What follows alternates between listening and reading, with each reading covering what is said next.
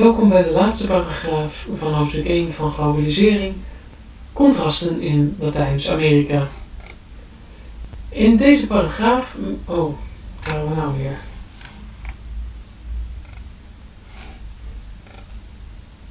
In deze paragraaf wil ik met jullie kijken naar uh, culturele kenmerken, de bevolkingsspreiding, politieke kenmerken en sociaal-economische contrasten. Allereerst de culturele kenmerken.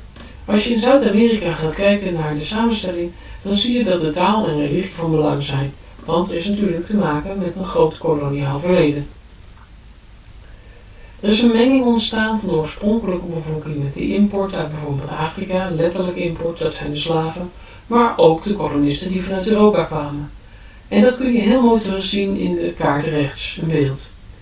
Je ziet dat er uh, cultuurgebieden zijn, bijvoorbeeld het donkergroene linksbovenin, dat is Centraal-Amerikaans en um, Noorden, dan heb je um, Andean cultures, uh, wat zie ik nog meer staan, Zuid-American tropical forest cultures, um, en dan South American nomad cultures, die zijn er nog, dus nomaden, en die hebben allemaal een menging gemaakt met dus de oorspronkelijke bewoners hebben een menging gemaakt met de import vanuit Afrika en de kolonisten vanuit Europa.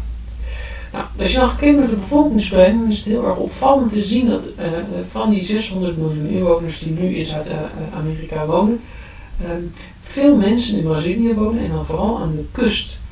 En, en dat heeft alles te maken met de ontwikkeling van die landen en belangrijke havens bijvoorbeeld. De kaart die een, een verandering laat zien tot en met het jaar 2000, laat die bevolkingsgroei mooi zien. En de spreiding is nog steeds op dezelfde plekken en de bevolkingsdichtheid aan de kust blijft hoog. Wel zie je dat de bevolkingsdichtheid het binnenland in langzaamaan aan het toenemen is. Dan de politieke kenmerken. Er is altijd een machtsstrijd geweest tussen Spanje en Portugal, vooral in de 15e eeuw. In 1494 werd de boel opgedeeld en tot aan de 20e eeuw zijn er daardoor heel veel machtswisselingen geweest. De huidige tendens is enigszins democratisch, maar er zijn toch weer veranderingen uh, aan het gaan. De kaart die je hier op dit plaatje ziet in 2011 is nu absoluut achterhaald. Waarom? Je ziet hier op deze kaart nog sterk de invloeden van de linkse, er staat hier onder Lideres en dan de izquierda, ofwel dat is de linkse groep, en dan de blauwe, dat zijn de mensen derecha van rechts. En um, je ziet met name in het noorden belangrijke veranderingen doorgaan. Bijvoorbeeld in Venezuela, waar in 2011 nog Hugo Chavez aan de macht was, zie je nu een sterke groei naar nationalisme. Wel nog vanuit een socialistisch, oogpunt, maar uh, de ontwikkelingen daar gaan veel minder hard. Um, ook in andere landen zie je steeds vaker een blik richting het nationalisme. Met als gevolg dus dat de ontwikkelingen ja, op een andere manier worden samengesteld. Dat zie je ook wel terug aan de sociaal-economische contrasten. Duidelijke verschillen zijn er ook te zien. Haiti is zeer arm. Hè. Je hebt hier te maken met ongeveer 1000 euro per hoofd van de bevolking. En dat is slechts 7% van het uh, bruto binnenlands product, bruto nationaal product uh, van Argentinië. In de jaren 90 zorgde de industrialisatie ervoor dat er een zeer sterke groei kon plaatsvinden, economisch gezien.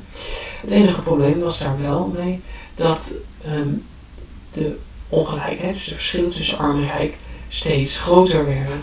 Ook hier zie je dus een trend waarin um, de kloof tussen arm en rijk toeneemt.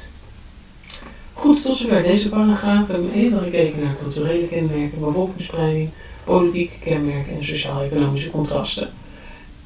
Deze paragraaf is om gewoon door te lezen in je boek. Daar wordt nu ingegaan in de diepte op uh, de informatie.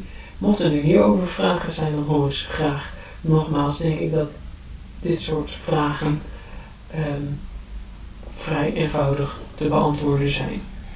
Kijk nou met name wel naar de invloed van de Spanjaarden en de, uh, uh, en de, de Portugezen in Zuid-Amerika en naar de bevolkingsspreiding. Een vraag zou kunnen zijn dat men wil weten van eh, eh, wat is de reden dat de mensen vooral ervoor kiezen om aan de randen van het land te gaan wonen en niet in het binnenland. En dat zou dan bijvoorbeeld een fysisch-geografische reden kunnen zijn vanwege de onherbergzaamheid van zo'n gebied.